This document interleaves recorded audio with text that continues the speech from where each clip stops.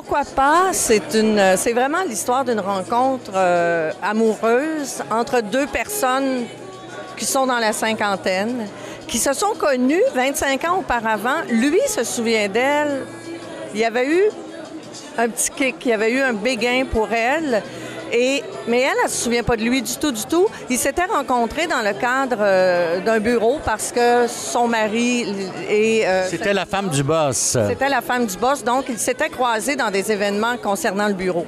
Et euh, la pièce commence, on est, au, on est au cimetière.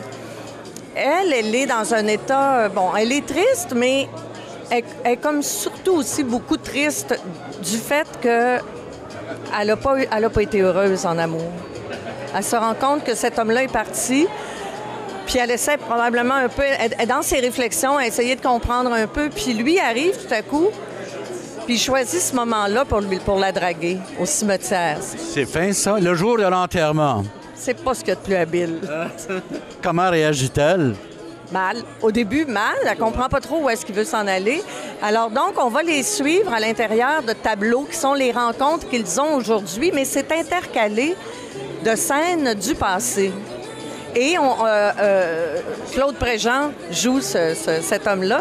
Et euh, on a deux euh, comédiens, Daniel Lépine et Yvan Benoît, qui vont faire d'autres personnages de nos vies respectives. Et c'est pour nourrir aussi ce qu'ont été nos vies. Et au fur et à mesure, c'est très habile et très fin la façon dont l'auteur, Norm Foster, a- a- amène l'amour tranquillement. Ça une- donne beaucoup d'espoir. On peut dire que c'est une comédie, un drame. euh, C'est une comédie, c'est le show de Noël chez Duceppe. C'est toujours la, la tradition veut que ce soit une comédie, mais souvent, ce sont des comédies, euh, on pourrait dire une comédie romantique. Jouer avec Pauline Martin, au départ, c'est un cadeau, j'imagine? C'est un cadeau. J'avais déjà joué, moi, il y a, il y a 6-7 ans avec Pauline au théâtre d'été. On avait passé un été dedans extraordinaire.